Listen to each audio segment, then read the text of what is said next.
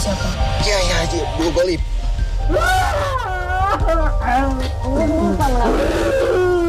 Rabbi anjilni menjalan mubarakan wa antal khairul munzilin.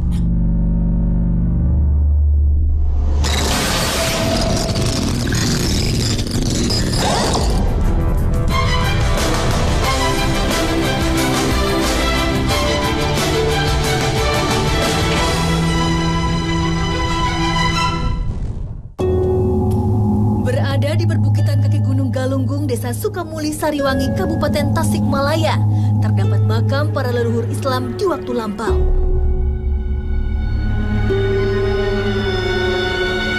Beberapa tokoh yang dimakamkan di sini, yaitu Ambu Sumairah Wirakusuma dan Eyang Sembah dalam Wiradadaha, yang menjadi tujuan bagi orang-orang yang ziarah ke tempat ini. Kabar beredar, di tempat ini juga merupakan bagian dari kerajaan gaib yang menguasai daerah Gunung Galunggung. Saya dikasih tahu makam siapa aja ini. Oh, ini Umi Sumarah Kusuma, Ibu Ratu. Yang sebelahnya itu pendamping Ambu, eh, Raden Galigur Putih. Suka banyak Bu yang datang ke sini. Ya lumayan ada gitu ya, kalau ada petunjuk, udah ada tuduh Allah mungkin ya nggak bakalan ada kita kalau nggak ada kesembuhan menurut kita. Jadi kita kita semua harus eh, silaturahmi ke orang tua. Hmm, itu biasanya dilakukan apa aja Bu? biasa kan kalau ini melakukan secara kita masuk ke masjid aja lebih eh, azan Bismillah syahadat sholawat gitu Jadi Ibu pernah lihat sosok?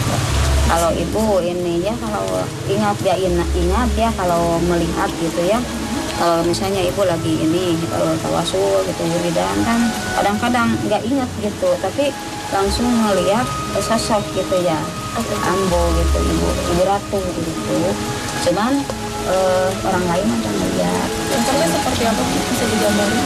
ya cantik aja gitu apa?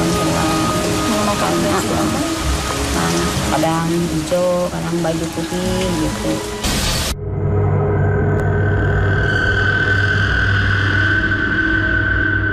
Ada misteri apa di tempat ini?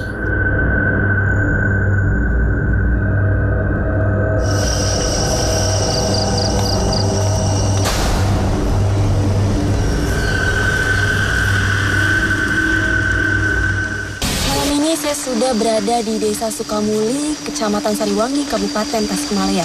Dan di sini terdapat salah satu situs pemakaman keramat yang dikenal dengan nama Situs Walahir.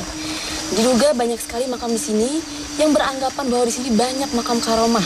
Tidak hanya itu, para masyarakat juga percaya bahwa di sini ada kerajaan gaib. Benarkah hal tersebut? Assalamualaikum Abah. Waalaikumsalam warahmatullahi wabarakatuh. Abah malam ini cerita apa yang akan kita ungkap Abah? Oke, kita akan ungkap di sini mengenai untuk yang ada di sini eh, sesuai eh, seiring dengan pendapat masyarakat di sini yang datang ziarah ke sini eh, dan juga bilang insya Allah segala hajatnya katanya akan terkabul tetap eh, segala sesuatunya hanya Allah yang mengabulkannya. Gitu. Baik, ini di sini banyak sekali makam yang dianggap bahwa di sini makam karomah sebenarnya itu apa sih, Abah? Karomah itu sebetulnya dari ketinggian kesaktian ilmunya, kalau barokah dari tingkat kesolehannya atas mahabbahnya dia sama sang pencipta begitu. Hmm. Baik, Abah bisa saya ikut merasakan aura di sini. Oh insya Allah bisa. Deteksinya sebelah mana, Abah? Ya kita cari sebelah sini aja ini udah keras dia. Nah. Bismillahirrahmanirrahim. Allah Akbar. Saya mencoba merasakan energi di tempat ini. Sosok Hmm. makhluk eh, Ada yang seperti berdiri. manusia ya? Iya. Ah, tinggi besar gitu. Terus apa yang anda rasakan di tangan anda bagaimana? Oh panas ya. Itu auranya sebenarnya itu aura ya saya ini dibilang negatif enggaknya dia tapi tingkat dia tingkat ilmunya gitu dari ilmu kenoragan gitu Jadi kita bisa langsung buktikan dengan mediumisasi saja. insya Allah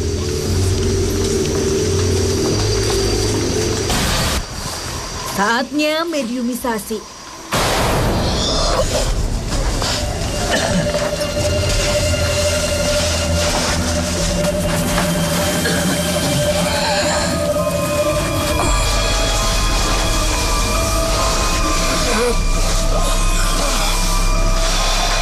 Assalamualaikum warahmatullahi wabarakatuh. Boleh saya tahu perubahan, Mas? Saya Kiai Haji Aksak. Anda penunggu sini atau ada makam Anda di sini? Kami mulai komunikasi dengan makhluk ini. Ada. Kalau boleh saya tahu sosok Anda ini seperti apa? Menurut saya Mbak. Sarangnya Siapa yang memberikan nama? sesepuh di sini. Berarti sebelum Anda menghuni di sini sudah ada dia. Sudah ada. Siapa itu? Ya, Blue Golib. Beliau siapa? Ya sesepuh di sini. Ada berapa banyak memang? Banyak. Siapa lagi itu?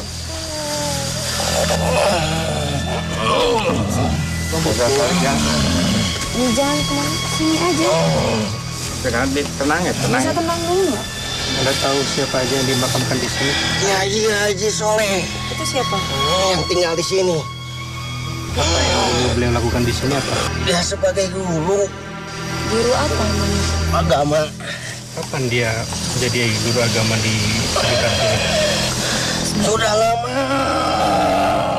Sebenarnya makam makam-makam yang dikeramatkan itu yang mana aja sih?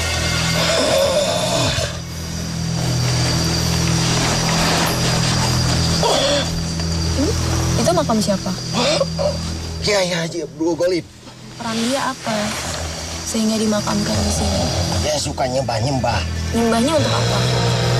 Hmm, seperti pesugihan-pesugihan. Banyak yang datang. Hmm, sekarang enggak. Enggak ada. Kalau dulu-dulu masih banyak. Tak banyak memberi informasi. Mediator disadarkan.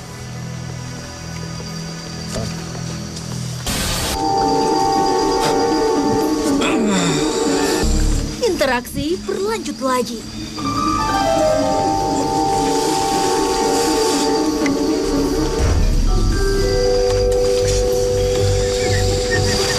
Assalamualaikum.